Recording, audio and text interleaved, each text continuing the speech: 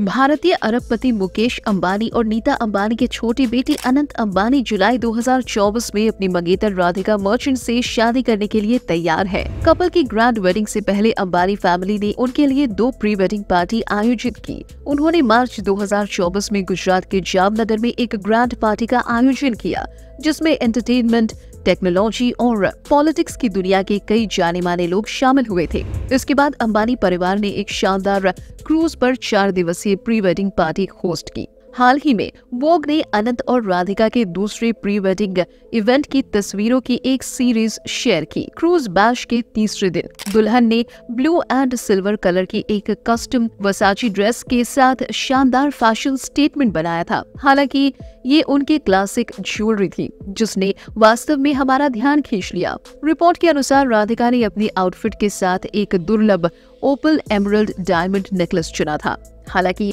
ये केवल उनकी सुंदरता को ही नहीं बढ़ा रहा था, बल्कि ये उनकी लाइफ से भी जुड़ा हुआ था। दरअसल, ओपल राधिका का बर्थ स्टोन है, जबकि हीरा उनके होने वाले पति अनंत का बर्थ स्टोन है। फ़िलहाल, अनंत अंबानी की होने वाली पत्नी राधिका मर्चेंट के फ़ैशन चॉइसेस के बारे में आप क्या सोचते हैं? हमें कमेंट करके ज़रूर बताएँ।